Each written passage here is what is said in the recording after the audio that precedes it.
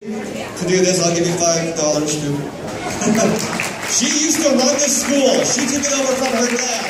Then she ran it for many, many years. And then she gave it to her uh, daughter, Shailene. Shailene, can you stand up to me, please? She put this on. She's, she's the director.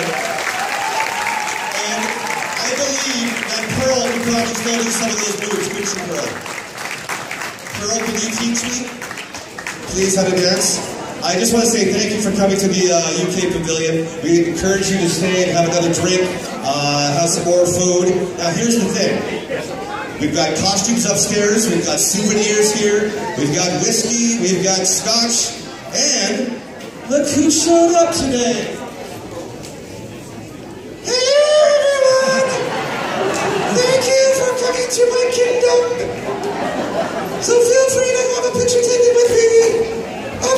Upstairs if you want. Hashtag Queen.